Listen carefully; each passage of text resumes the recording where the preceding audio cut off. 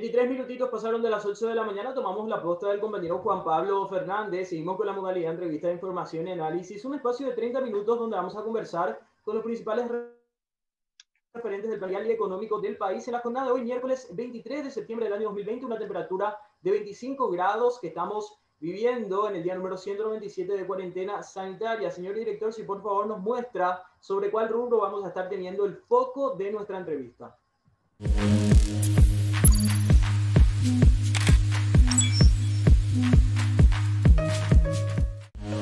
De la construcción. De esta manera la tengo del otro lado a la arquitecta Ana Porro. Ella es presidenta de la constructora Ana Luz y Porro Sociedad Anónima, a quien le agradecemos el tiempo para con nosotros. Buen día, arquitecta, ¿cómo le va?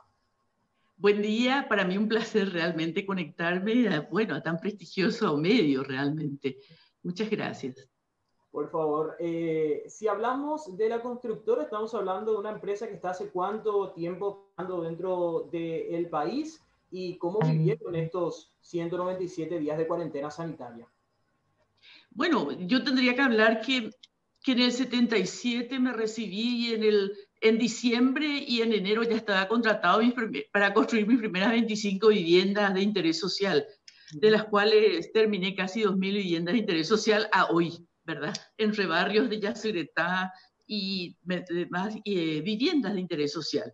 Entonces, eh, para nosotros eh, la pandemia en cierta manera nos ha frenado algo, ¿verdad? Porque mm, por las cuestiones sanitarias, todo eso y el desplazarse a sitios de obra, las obras normalmente no están casi en el área capital, ¿verdad? Están más bien en el Gran Asunción o en todo el país, ¿verdad? Expandido.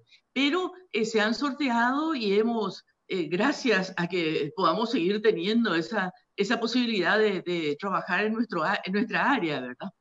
Y hay que decir que realmente la infraestructura eh, ha tenido un empuje muy importante en lo que fue de este, el gobierno anterior y este gobierno. Realmente se imagina que la construcción aporta eh, aportaba un 6% del PIB y ahora yo creo que máximo si bajamos un poquito, tal vez haya algún inconveniente, llegaremos a cinco y medio realmente, porque se han hecho obras de infraestructuras troncales importantísimas en el país para tener una comunicación en el país. Antes habían zonas totalmente olvidadas y sin medios de llegar a ellos por todo, a todo, en todo tiempo, ¿verdad? Y ahora se ha hecho mucho.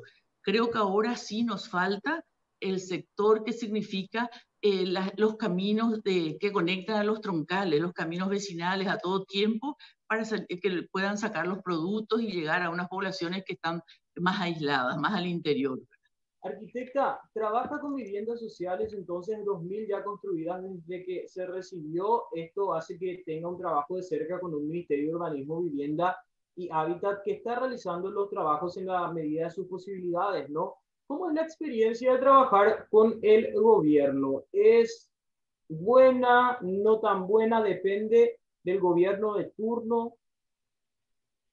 Bueno, eh, la verdad que lo, lo bueno para nosotros, el sector de la construcción, es que casi eh, todos los gobiernos eh, ven como la posibilidad de que a través de la infraestructura es el único crecimiento o impulso que se puede dar a la economía realmente a través de la construcción. Entonces, eh, con algunos tal vez uno fue un poco más difícil trabajar y otros no tanto, ¿verdad? Actualmente eh, no estoy haciendo viviendas de interés social ni ningún tipo de vivienda porque eh, no, existe, no, no, no existen llamados públicos a construcción de viviendas. Eh, lastimosamente, yo creo que eso sería más interesante que pudiéramos tener eh, unos llamados de, a, construcción de viviendas, que es lo que genera mucho mayor fuentes de mano de obra, ¿verdad? Fuente de trabajo y permea mucho más en esa sociedad que está un poco alicaída por este tema del COVID, ¿verdad? Eh, pero ojalá que pudiéramos ahora rever eh, que revea realmente el ministro del MUP y pudiéramos tener eh, los llamados em, enmarcados dentro de la ley 2051 de contrataciones públicas. Eso haría que la participación sería mucho más, eh, más amplia, digamos, del sector de construcción y nos permitiría competir inclusive en precio y en calidad realmente. Y tendríamos, nos adecuaríamos a la ley de transparencia también, desde el momento que todo está ahora con todo lo que se ha implementado, no hay nada que yo pueda ocultarte en cuanto a construcciones que hice, ni cuánto costó, ni qué hice, cómo terminé. Es cuestión de entrar nada más ahora a investigar en todas las líneas que tenemos abiertas. Eso es un gran logro realmente de la parte de transparencia, ¿verdad? Entonces, nos ayudaría muchísimo, ¿verdad? A mayor participación de, mayores de mayor cantidad de, empresas, ¿verdad? Y cuando las empresas son eh, de menor tamaño, como pequeñas y medianas empresas, emplean mucho más, mano de obra, ¿verdad? Sin descalificar a que una empresa tecnificada tiene una inversión tremenda, ¿verdad? Pero en cuanto a viviendas, le diría que la mano de obra se multiplica al ser viviendas medianas, empresas medianas y pequeñas.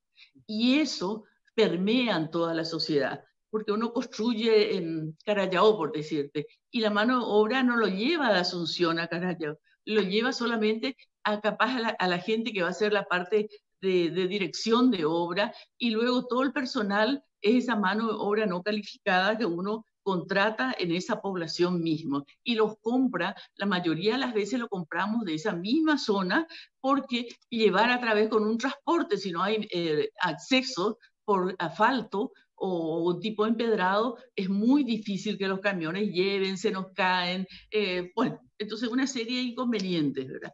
Ojalá que realmente se revea y pudieran marcarse los llamados del MUT a la ley 2051 dentro de la ley que, no sean de manera muy directa, que, que, estén también enmarcadas de esa manera para dar posibilidad y una mayor transparencia ¿no? respecto a algunos fondos muy importantes que se ejecutan en viviendas sociales de esta manera. Vamos a hacer una breve pausa, le pido un minutito, arquitecta. A la vuelta de la pausa vamos a estar hablando un poco del rol de la mujer en el rubro de la construcción. Definitivamente, ¿cuál es el rol eh, que cumple hoy día la mujer al frente, ya sea de una constructora, de una desarrolladora inmobiliaria? Eh, y muchas otras cuestiones todavía que queremos conversar con usted, arquitecta. Le pido un minutito, marcamos la pausa. A la vuelta de la pausa seguimos con la información y análisis.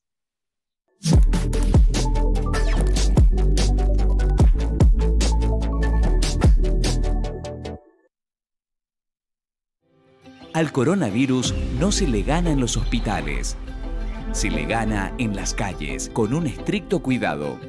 Respeta el distanciamiento social Usa tapabocas. Lavate las manos con frecuencia.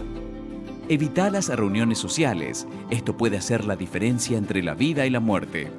Si tenés que salir, hacelo responsablemente para que mañana podamos disfrutar de nuevo de la compañía de nuestros seres queridos. Es un mensaje del Gobierno Nacional con el apoyo de la entidad binacional Yacyretá.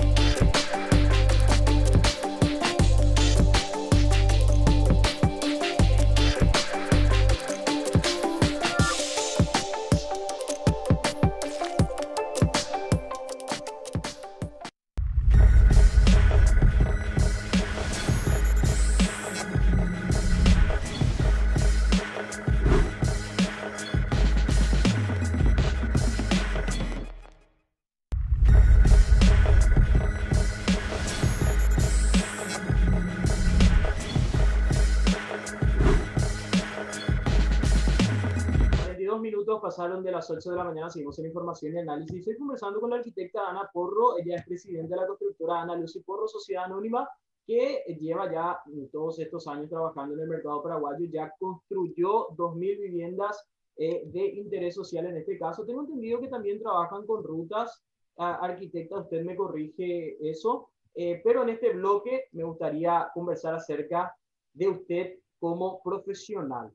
Marcó realmente eh, muchos hitos en el rubro de la construcción, como por ejemplo asumir la presidencia de la Cámara Paraguaya de Empresas Constructoras, en este caso la Capaco, ¿Cómo fue esa experiencia? Tengo entendido que también fue la primera y la última mujer en asumir un cargo tan importante en una de las cámaras más importantes del país. Bueno, realmente tengo que reconocer que, que, yo entré a la Capaco cuando comencé a trabajar con el Estado. Eh, me asocié y en seis años llegué a la presidencia de la Cámara Paraguaya de la Construcción. Realmente y hasta el momento soy, pero yo creo, la única mujer, pero creo que di el puntapié inicial y yo creo que habrá muchas más, ya gente, millennials que ya están ahí empujando para llegar a, a, a una, una, posición ahí dentro de la Cámara, ¿verdad? Y que creo que es interesante, porque siempre tenemos una visión a veces un poquito más integral a ser mujer, pues nos tocó siempre el hogar, ¿verdad? Entonces pareciera que hasta la economía, todos nosotros cuidamos en todos los aspectos, hasta la estética, que esté todo bien, bueno, un poco eso. Y, siendo arquitecta también, porque eh, siempre hay uno que el ingeniero es el que pudiera ser un empedrado, podía ser un asfaltado, y un arquitecto era un poco más difícil, ¿verdad? Entonces, eh, también eso eh, fue otra pequeña hándicap que tenía en contra en ese momento, ¿verdad? Entonces, bueno, realmente no tengo que quejarme. Yo con el personal he trabajado desde muy, ya le digo, desde el 77, 78 comencé a trabajar. Jamás me han faltado el respeto. Realmente tengo que decir que con el personal en la obra son tan respetuosos. El paraguayo es muy respetuoso y muy trabajador también. Realmente mi admiración tiene los obreros de la construcción. Y luego, después nos tocan un ámbito así más empresarial, en donde la competencia es uno de los temas principales, ¿verdad? Y bueno, en ese tema, bueno, lo hemos, hemos peleado y hemos llegado realmente a la presidencia de esa Cámara Paraguaya de la Construcción, que estaba normalmente ocupadas por gente ya con una tradición de, de, la época de Itaipú, porque nuestro resurgir, o sea, nuestro salir al, a una empresa mucho de mayor volumen, fue Itaipú, fue lo que marcó hasta toda la vida del Paraguay, cambió con Itaipú realmente. Y bueno, de esa época son señores que realmente muy tradicionales y costó un poco realmente eh, poder trabajar, ¿verdad? Pero así también eh, no todos no todos, realmente. Yo creo que una parte muy importante de los, eh, del gremio de la construcción está, está formada por gente muy capaz y muy respetuosa y muy cumplidora también con sus contratos, ¿verdad? Bueno, eso fue un, para mí es como una estrella que llevo a haber llegado a la presidencia de la Cámara para a la Construcción y ser también mi empresa la, eh, prácticamente la única que trabaja en estos momentos contratando con el Estado, no solamente en construcción de vivienda, también eh, eh, en llamados de puente, en empedrado, en asfaltado de circunvalatorias, en refulado del Bañado Sur, el primer refulado que se hizo, yo lo hice, hizo mi empresa, luego muros de contención sobre el Paraná, en, el, en, la planta de tratamiento de SAP que estaba muy golpeada por la crecida y todo eso. Eh, lo hemos hecho, hemos hecho hospital, el hospital de Areguá, varios hospitales de Pacaraí, bueno, también, bueno, en todos los rubros, realmente en todo lo que pudiera entrar como una pequeña o mediana empresa, hemos entrado en licitaciones.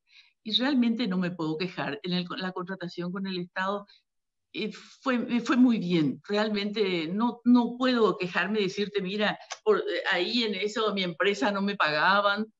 La verdad que no tengo quejas en ese sentido, ¿verdad? Hay épocas que yo sé que la economía no está muy bien también, ¿verdad? Entonces, a veces el ministro de Hacienda tuviera que hacer un poco una repartición equitativa, tal vez no, no lo que hubiéramos querido, pero es lo que da, es lo que da nuestro ingreso económico un país, ¿verdad? Ingeniera, a ocho años de haber dejado la presidencia de la Capaco, todavía no existe otra mujer que haya presidido la Cámara. Cuatro periodos ya culminados, eh, usted fue la única mujer. ¿Eso es por falta de líderes eh, femeninas en este caso? ¿O quizás porque los espacios, hay mucho espacio todavía por conquistar? ¿Cuál es la mentalidad, cree usted, del paraguayo hoy día ya mucho más abierto quizás, mucho más libre? Bueno, yo creo que ahora cambió. ¿En qué sentido? Que va cambiando porque eh, ustedes, los, jóvenes, ya vienen de una familia de madres que ya trabajan fuera de la casa, ya van ocupando lugares muy importantes.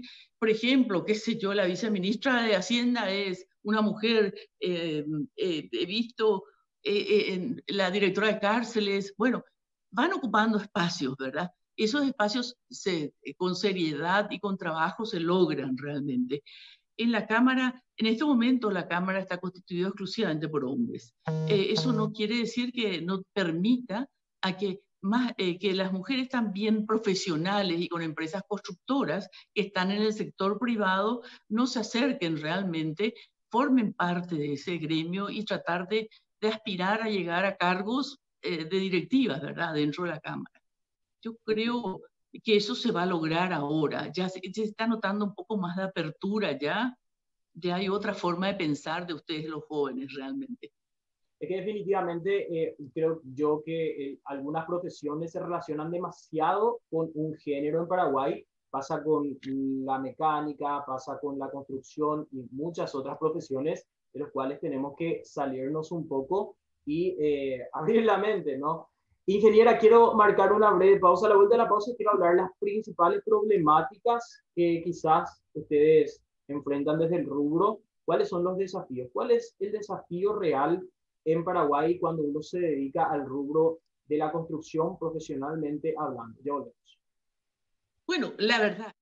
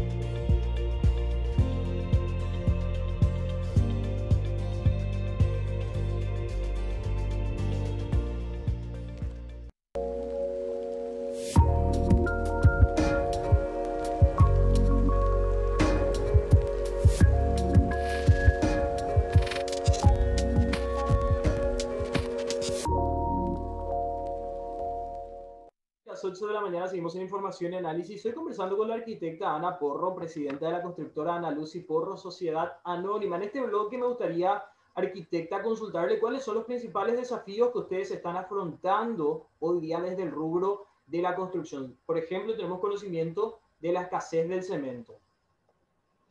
Sí, esto es cíclico. Eh, cuando tuve, estuve en la presidencia de la Capaco también nos pasó esto, un desabastecimiento por un problema técnico de realmente de Vallemí. Entonces, ahora tenemos la bajante del río, eh, varios inconvenientes, a pesar que ya tenemos una ruta faltada. Eso es meritorísimo, tener una ruta faltada ya, porque los camiones pueden irse por tierra. Antes era solamente por agua, realmente. es un mérito de tener esa ruta realmente.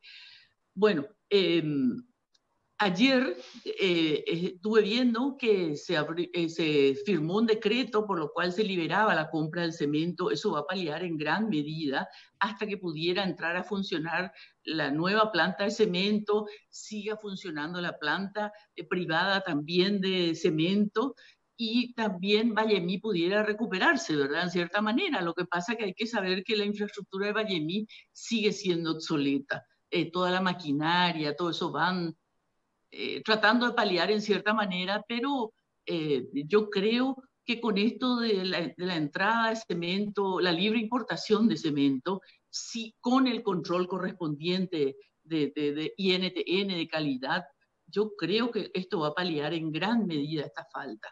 Y creo que es una buena medida porque eh, estaríamos en casi, no hay un rubro de la construcción que no usiese cemento hasta le diría que las rutas, las grandes carreteras, mucho más con más razón, ¿verdad?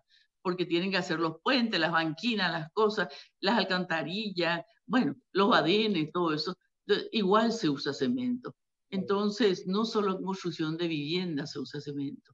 Así que yo creo que fue ayer se aprobó ese decreto y yo creo que ya entra en vigencia y ya en unas semanas más yo creo que estará abastecido ya el mercado de vuelta, ¿verdad? Y que los precios puedan bajar, porque hoy se está comprando a 70 mil guaraníes una bolsa, una bolsa de cemento.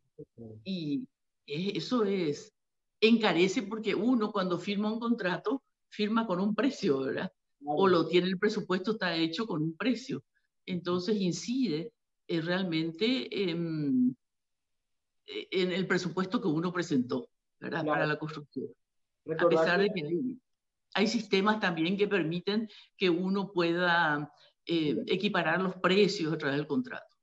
Con adendas y esas cuestiones, ¿cuándo se trabaja en el rubro público, o con el Estado en este caso? Eh, la industria nacional del cemento generando el 50% de la demanda local, Iguazú que tuvo el problema técnico del 30% finalmente, la importación que se encuentra con un gran desafío la bajante de los ríos, por ejemplo. Vamos a ver qué pasa. Lo importante es que este, este combustible fundamental como lo es la construcción para la economía paraguaya no falte porque estamos prácticamente sobre la espalda de estos rubros tan importantes como lo es también el rubro de la construcción.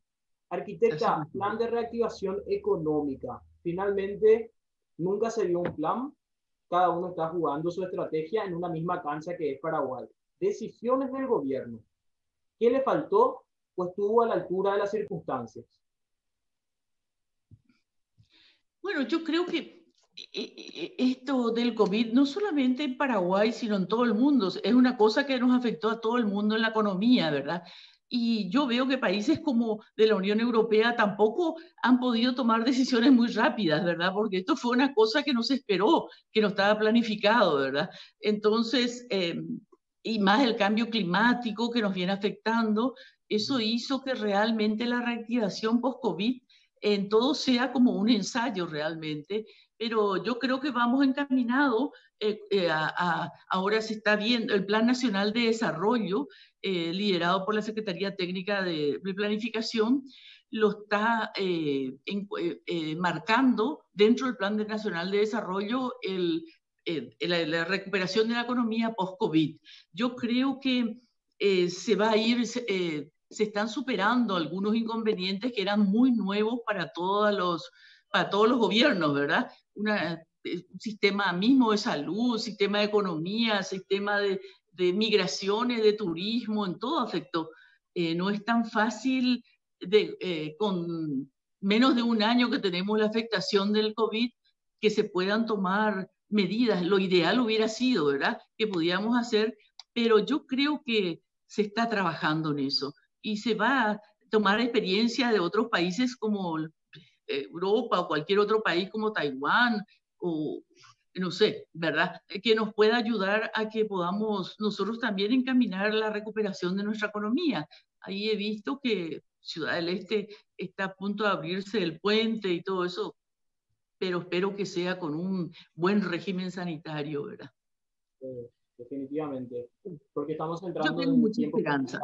Sí esperanza. Es, lo que, es lo que muchas, muchos empresarios que ya pasaron por el programa reflejan. Eh, por último, eh, arquitecta, me gustaría que le deje un mensaje quizás a las mujeres hoy día eh, que por ahí se sienten un tanto, eh, no, quiero usar la palabra menos, pero que por ahí creen que tienen menos posibilidades dentro del campo de la construcción. Quizás están iniciando y como usted con mucha incertidumbre, me gustaría que en base a su experiencia se dirija a ellas y las anime, les dé un mensaje quizás.